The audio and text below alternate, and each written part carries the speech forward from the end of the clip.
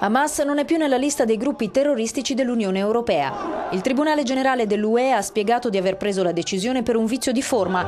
La presenza sulla lista nera era basata su imputazioni fattuali ricavate da mezzi di comunicazione o da internet e non su elementi esaminati in modo concreto, ha spiegato la Corte. Di fatto rimane il blocco del patrimonio di Hamas in Europa. Il capo della diplomazia europea, Federica Mogherini, aveva rilanciato nella sua ultima visita nei territori la necessità della nascita di uno Stato palestinese e il principio di Gerusalemme capitale di due Stati. La decisione della giustizia europea è stata condannata dal premier israeliano Benjamin Netanyahu e salutata come una vittoria da Hamas, nel giorno in cui i palestinesi propongono all'ONU una risoluzione sulla fine dell'occupazione israeliana.